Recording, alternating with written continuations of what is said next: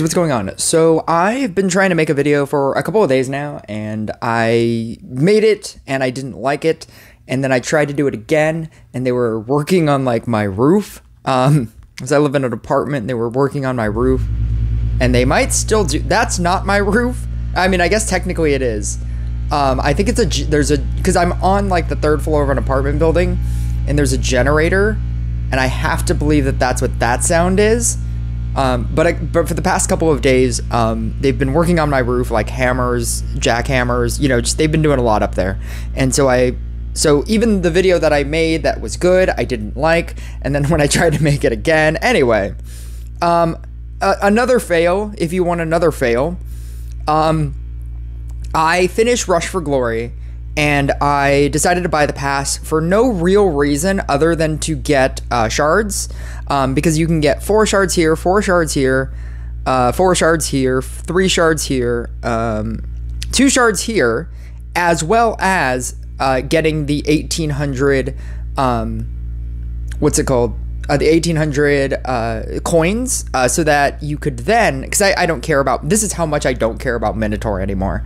Um, so that you can then use all of that into epic hero fragments because i was four away from a gadget. Um, i meant to do this on stream or uh, not on stream in a video. Um, i was going to do that whole opening. Um, i had a thousand um, what's it called? I had a thousand uh, magic dust, so I was going to do an exchange, and then I was just about to get the um, the legendary right here, and so I accidentally opened something, and then I was like, oh, you know, I'm just gonna I'm just gonna open everything. So I got a dryad, so I have a third dryad, an inquisitor, so I have a third inquisitor. Um, from this, all I needed were four shards of gadget I got nothing.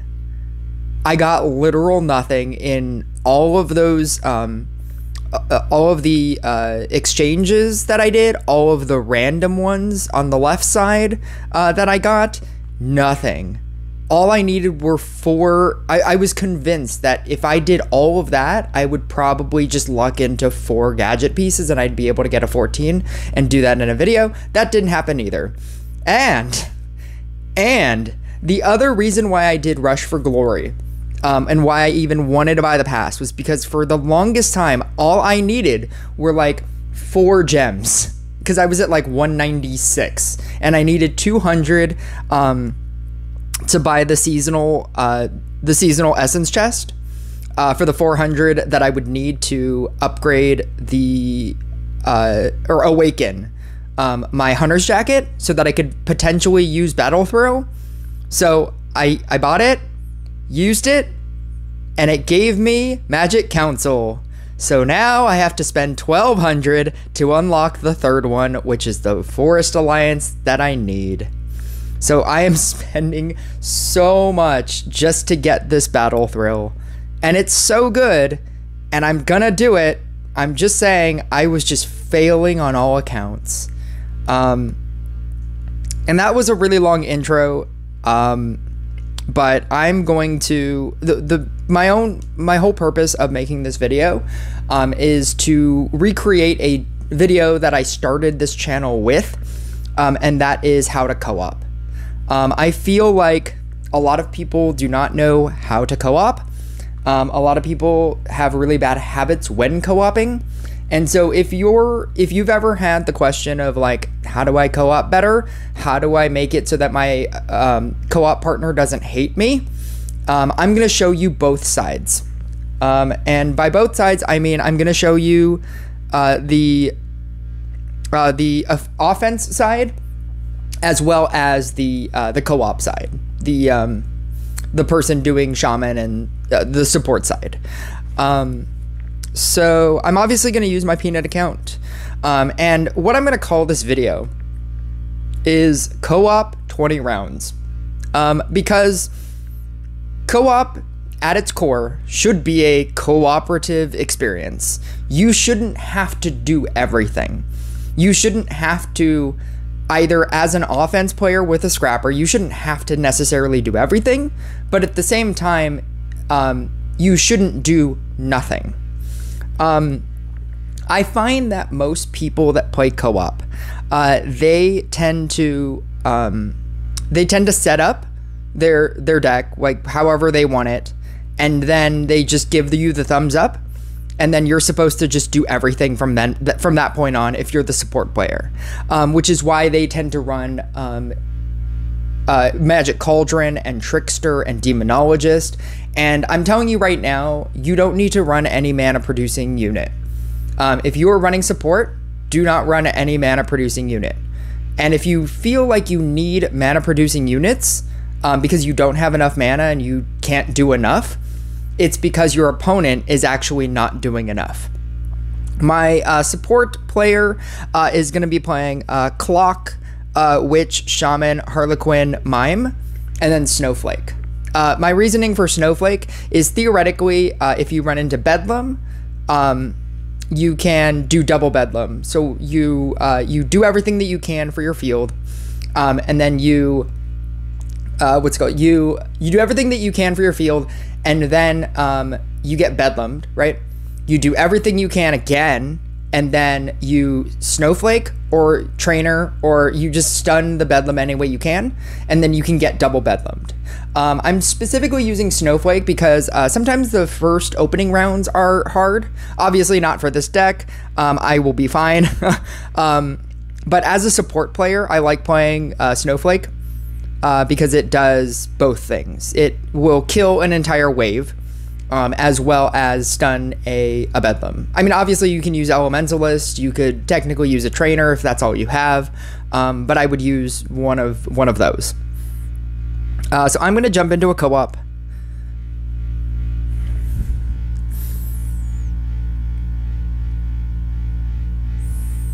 Um...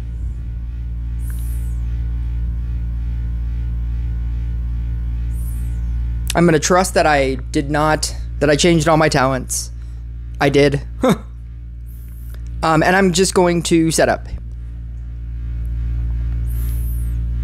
Um, and you're your goal is to set up as obviously as quickly as you can. Um, this is me setting up obviously a Blade Dancer deck, but the, the same principles are there. Do not do any, any unnecessary merges, um, and that's specifically why you should probably run the Dryad. Um, and when I say unnecessary merges, I mean like merging these two. You can, um, but there's no real reason to. Um, especially if you're not running a Dryad to help you fix the problem. For example, if I were to move this uh, Portal Keeper here, um, and then merge out the two Portal Keepers, and this becomes a Knight statue, I would be screwed, right?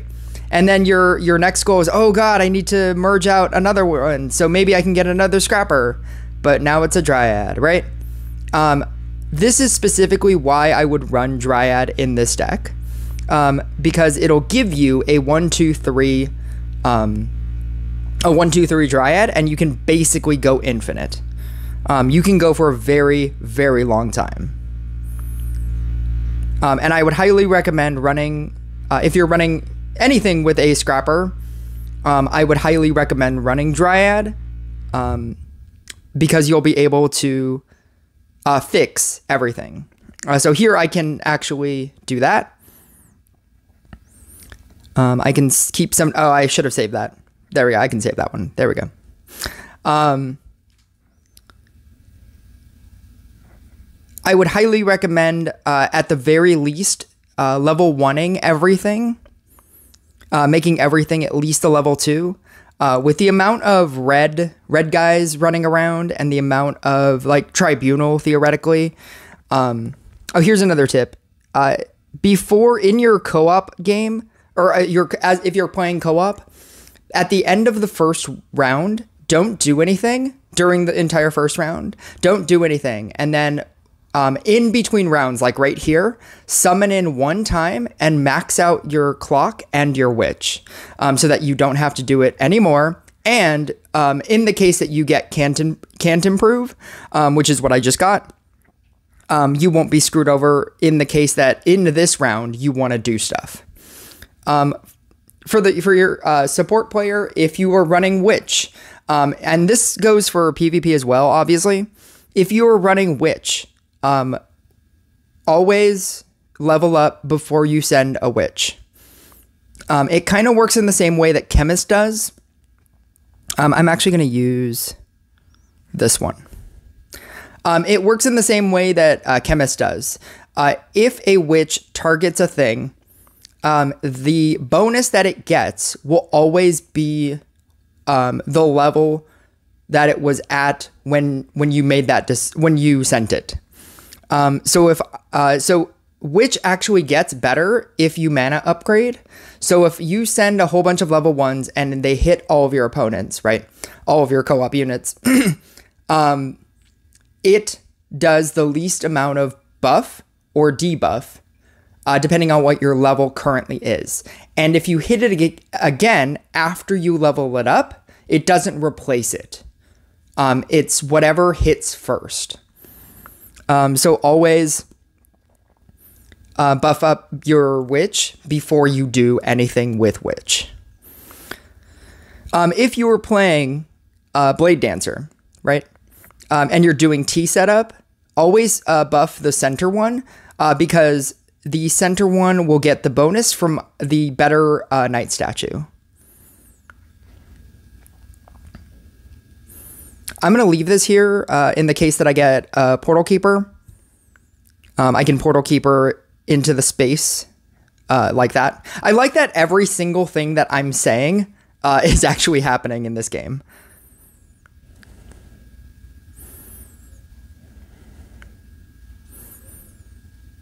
Obviously, because I have um, Elegant Parry, uh, this will eventually go away. And I obviously don't care about either of these. Um, so I could uh, merge that, but that's a dangerous merge and it's unnecessary. Um, I have to upgrade everything, but I do want to get this last um, Blade Dancer here. That's not great. That wasn't cool at all.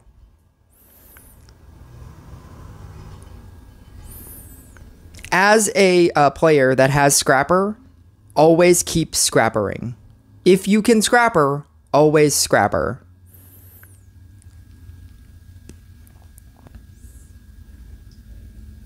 Um, I'm actually going to eat this. Oh, actually, this is fine. This is actually really good for us. Um, because, like, oh, okay. I, I thought that that was going to give. Oh, no, that was still good for us. Okay. Um, so now I can eat everything. And now I'm just going to scrapper until I can't scrapper anymore, until it's not safe to scrapper. And that's going to be, I want to say a little bit, but um, having two already, like the best summon in right now would be two dryads, um, so that you can make one of these a three. I just need one more. I was going to say, but the worst thing that could summon in would be a scrapper because now I have to eat this. Um, and I'm just going to do that. It's fine.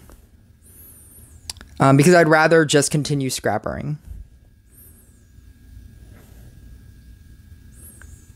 Um, here I told you about Bedlam.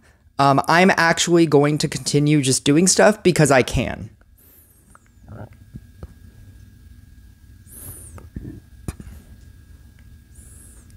Um, I can't even use this. I mean, I, I suppose I can use this to do that, um, because then that gives me um, an extra hit. Um, and this is now um, an unsafe time for me to do anything. Uh, so I'm actually going to merge these out um, and basically call it a day.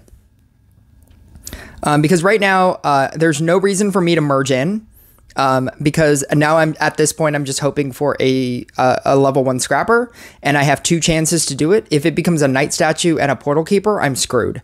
Um, so at this point, um, I'm going to do nothing, and I'm going to. Uh, I mean, technically, if we were in an actual game, I would probably go thumbs up. Um, as a co-op person, um, I have a couple of rules. One always summon in um, your entire field. Uh, two, uh, always merge witches with witches. Oh, this is really bad. This is like the worst kind of like, okay. Um, clocks, always merge them out unless it's a level three or above clock. Um, once your field is merged in, or once you have a full field, you will have all of the options that you could potentially have. Use all of your Harlequins on shamans. And instead of uh, merging shamans with shamans, if you have mimes, use the mimes. Also, do not use uh, the level two first. Always use your lowest levels. Um, so I'm going to use this one. Um, but see now, um, if you go back to my original statement, always summon in because then you will have the most amount of options. Um, I'm going to use a mime, uh, summon in. Um, I'm going to use, uh, always do witches and clocks first. Uh, summon in. I'm just going to use a shaman here. I can actually get rid of this one, but never, uh, don't use uh, mimes on witches or clocks. Always merge them together. Um, so I'm going to use this one on this. Um, summon in. I'm going to copy um, a Harlequin uh, with the Shaman. Um, I'm going to use a 1. Summon in. Uh, I'm going to use a 1. Summon in. Um, always merge out witches. Summon in. I'm going to uh, Harlequin that. Um, always use your lower levels first. Uh, summon in. Use a lower level again summon in, uh, copy. Um, now that I only have one level one uh, shaman, I'm gonna actually save it, and instead I'm gonna start using my level twos. Um, so I'm gonna use a mime two. I'm gonna use a mime two. I'm gonna use a mime two, and then I'm gonna summon in.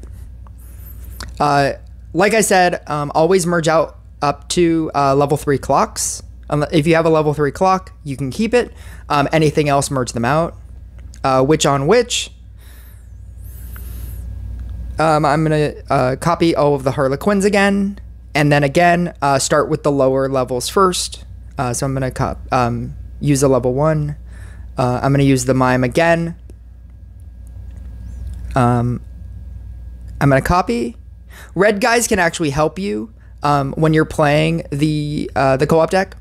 Actually, I haven't been uh, monitoring my Blade Dancer side. Uh, for my Blade Dancer side, I have two level twos uh, that I can merge together.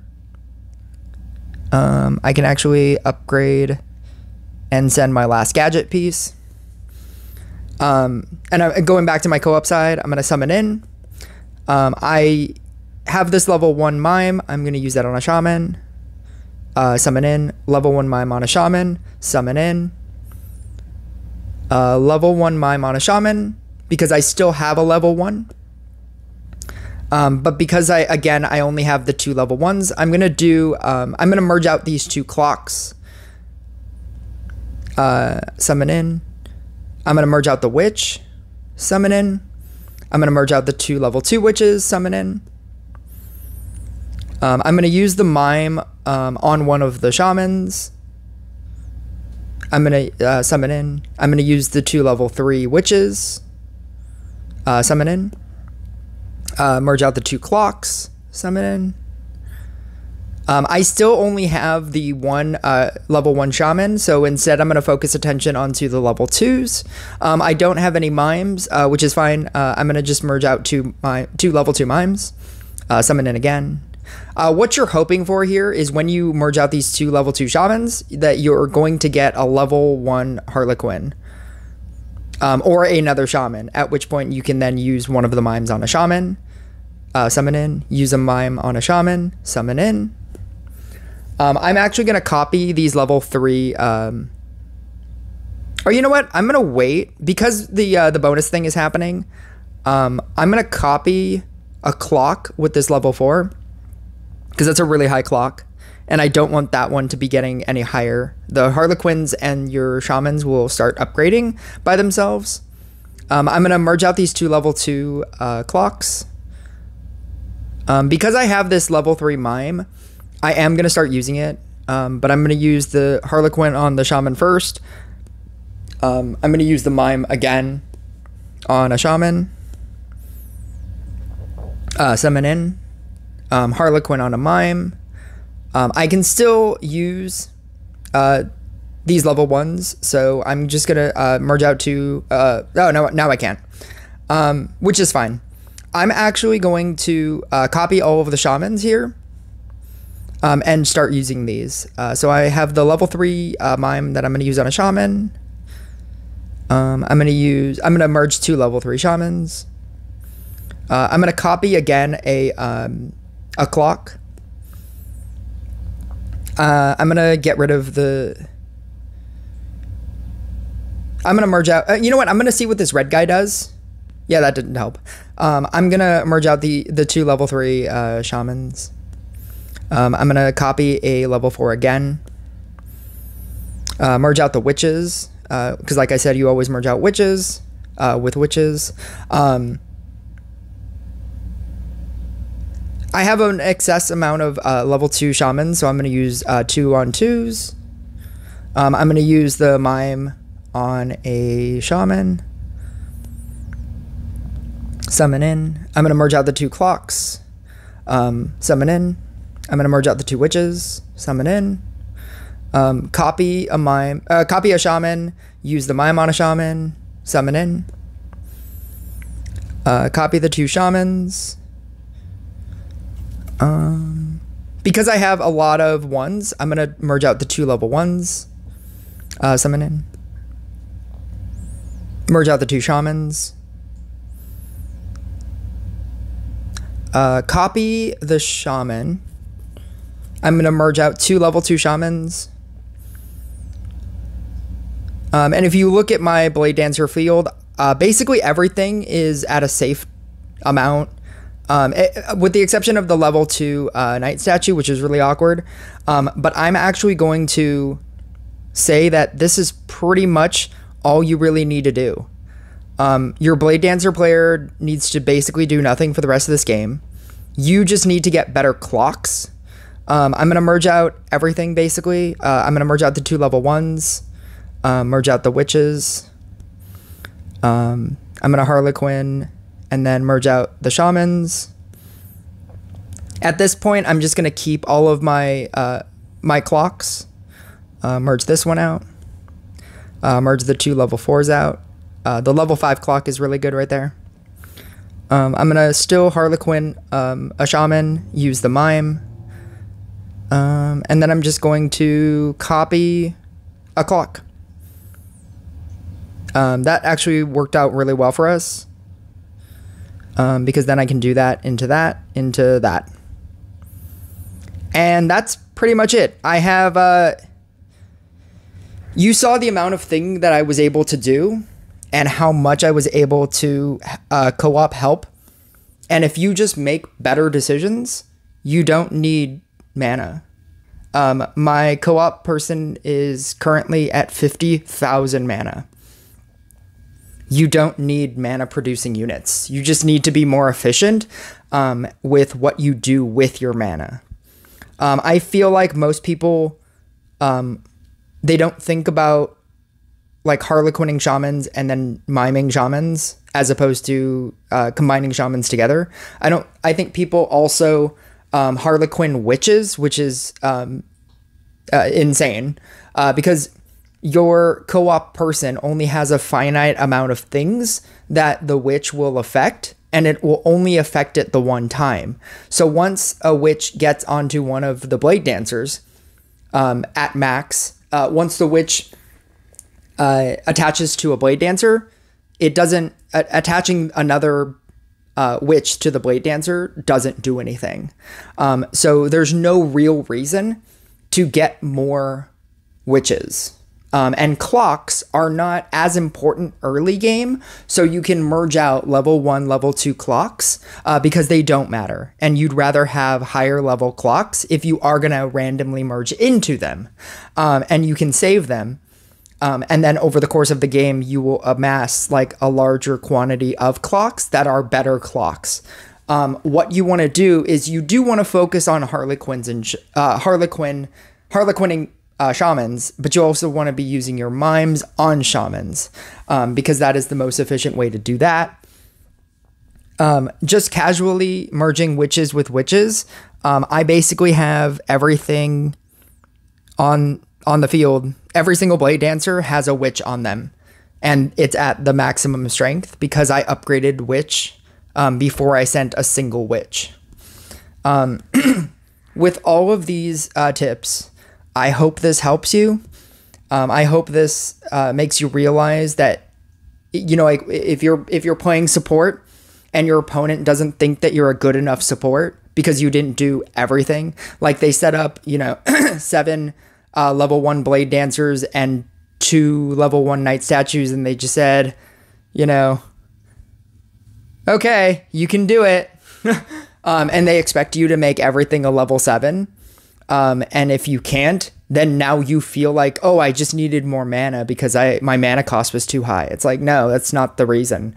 The reason why is because they should have been doing everything that they could do uh, up until like round 20.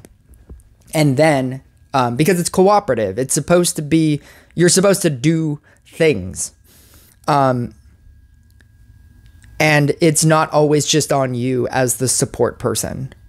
Um, I feel like a lot of um, people who think that they have like really good decks don't they when they play co-op for some reason they stop playing um, the game. Um, and they think that the co-op person is just going to shaman them to victory. And you can um, but the, their levels need to be a reasonable height in order for that to happen. Um, and at a certain point you also need to know when to stop um, if my if this blade dancer player decided to summon in right here, which I actually had, I uh, I I I tried to do this video where I was playing the support version, um, and my opponent actually had a max level blade dancer, and he got to about this uh, this height. I think one blade dancer was like a level five, and everything else was basically a seven because he helped me over the course of the game. Um, and so, but then he decided to summon in, and I don't understand why. And he summoned in like just really bad things. And we didn't lose, but I was real mad about it because there's no reason to summon in. Um, if I had, if he has like you know this level three knight statue, if that really bothers you, um, that's a that's a you thing. you don't like you. We will win, even if all of these things aren't level sevens. Like everything doesn't have to be a level seven for you to win. You know, round thirteen. Um, and at a certain point, you have to realize that. Uh, as the offense player, as the offense player with a scrapper. Sometimes um, when you summon in, I only have three chances to get a level one scrapper. And if it becomes a knight statue, a blade dancer, and a portal keeper, what are you going to do? Um, and then as the support player, you do have to realize when to quit, like when you've just done enough.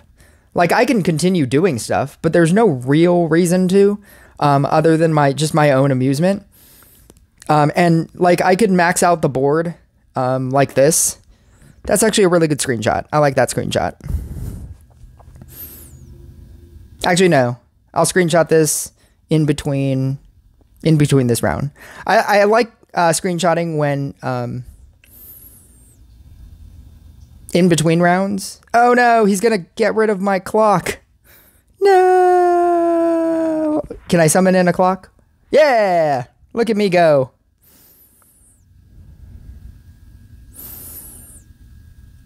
There we go.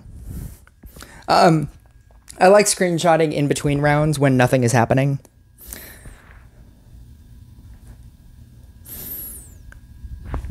See, like if I were to summon in right here. Oh, I got it. Well, look at me go. Go, go, go. No, I, no, but seriously though, I would not recommend summoning in. um, but yeah, um, hopefully that helps. Um, hopefully that helps your co-op game. Uh, if you want me to do a separate video, like I, I don't I don't even know if like a separate video would help. Um, but like with me showing the co-op side specifically on like the phone so that I can like wiggle wiggle what unit I'm summoning or I don't know.